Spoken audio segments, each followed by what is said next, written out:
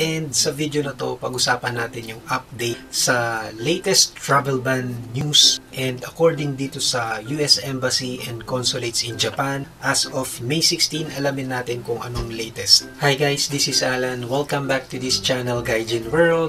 Okay, so according sa US Embassy, country-specific information for Japan, highly infectious COVID-19 variants have occasionally led to strained hospital capacity and medical infrastructure. According sa US Embassy ay medyo mataas pa rin yung, yung rate ng mga nagkakaroon ng COVID dito sa Japan.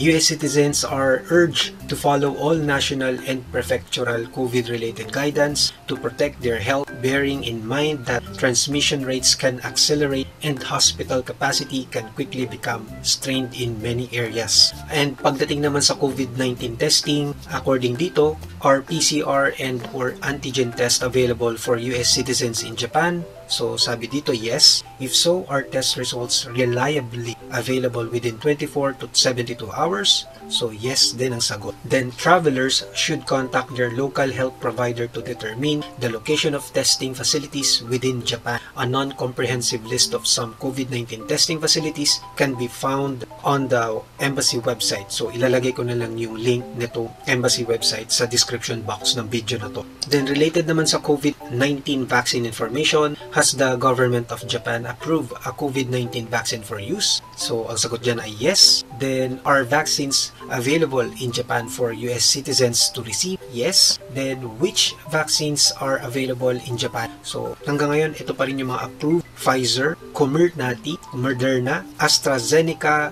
vaccines are currently approved in Japan. Ayan. So Pfizer, Comirnaty, Moderna, and AstraZeneca vaccines are currently approved in Japan. The government of Japan launched an English language website with information about the COVID-19 vaccine in Japan. For the most up-to-date information about receiving the COVID-19 vaccine, consult with your medical provider. US citizens should also follow local media updates on the vaccination campaign's progress. So, yung mga taga-US, yung mga taga-US ay inaalaw na ba na makapasok dito sa Japan? So, sabi dito, are US citizens permitted to enter?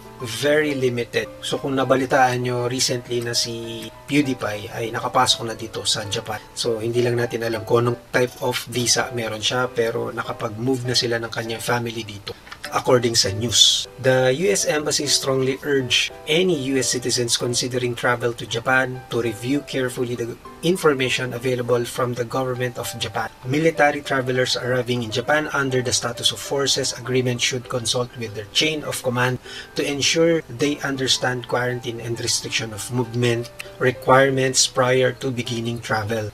Travel for tourism is still not permitted. Visa-free travel is suspended. Travelers who believe they qualify for an exemption to for an exception to Japan's strict entry controls should contact their nearest Japanese embassy or consulate for information.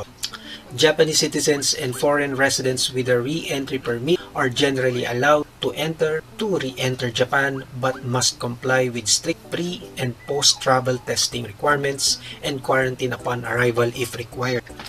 All travelers inbound to Japan, regardless of age, must receive a negative COVID-19 test within 72 hours of departure of the international leg of their trip. Domestic travel prior to the international flight is not counted within the 72 hours. This test must be represented in the prescribed format and must comply with very strict requirements. The terms nasopharyngeal or saliva must be listed as the sample collection method. For information, please see the Foreign Ministry Affairs website. Failure to complete the prescribed form as required by the Ministry of Health, Labor and Welfare may result in being denied entry to Japan. Then upon arrival in Japan, travelers will be required to complete documentations, download several smartphone applications, and clear immigration. Quarantine officials will arrange regular phone or video calls with travelers during their self-quarantine period to ensure compliance. If a traveler does not have a smartphone, most international airports offer an option for travelers to rent one upon arrival.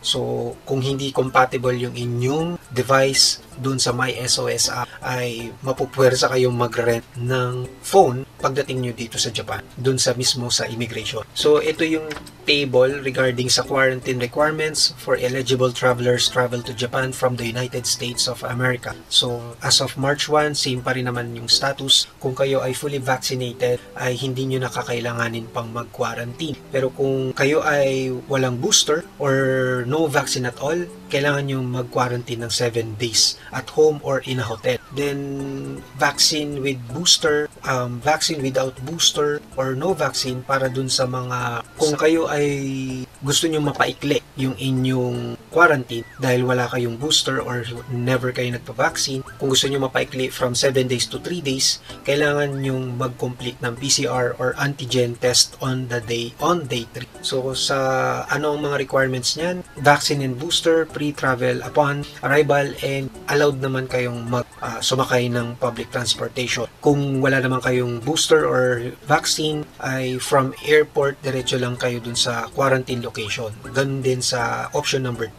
Then yung nire-recognize lang na vaccines for booster, for first and second vaccines ay yung Pfizer, uh, Moderna, AstraZeneca, and then yung Janssen, J&J. Then recognized booster vaccine naman is yung Pfizer or Moderna lang. So starting March 9, 2022, travelers to Japan may pre-register for airport quarantine procedures and use fast track at certain airports including Haneda and Narita.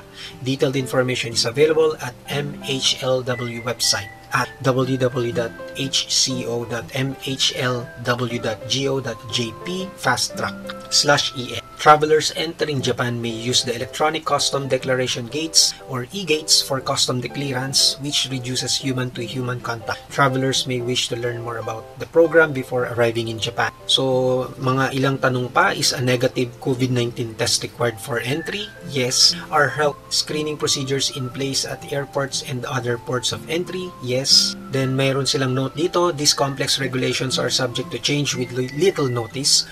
The US Embassy's ability to intervene on behalf of travelers denied boarding at the point of embarkation or denied entry upon arrival to Japan is extremely limited and those travelers denied entry at Japanese ports of entry will likely be immediately reboarded on flights back to the United States. So ayan guys, I hope nakatulong tong information sa inyo. So galing ito sa US Embassy and Consulates in Japan para sa mga magta-travel galing sa United States. Pwede na ba kayo makapasok? So ito yung video na yon. So I hope nakatulong sa inyo kung nagustuhan nyo.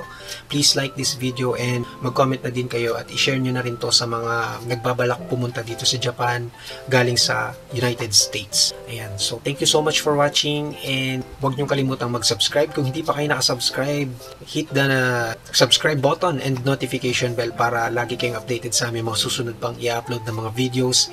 And sa mga nakasubscribe na at nanonood sa amin, maraming salamat. At huwag niyong kalimutang i-check yung aming YouTube homepage. Puntahan niyo yung playlist dahil marami kaming playlist dyan na makakatulong sa inyong pamumuhay dito sa Japan. Okay? Thank you so much again for watching. This is Alan and I will see you on our next video. Bye!